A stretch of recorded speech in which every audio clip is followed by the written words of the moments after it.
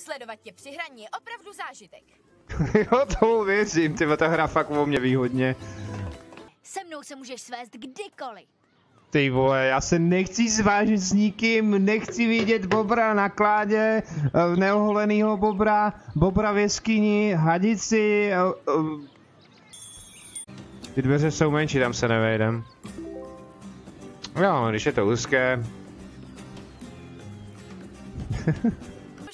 Ušňuje Remyho ratatuj. A šprclík mu chce ratatuj pokazit. Aby Ego změnil názor a napsal na gusto a špatnou recenzi, takže by restaurace musela zavřít.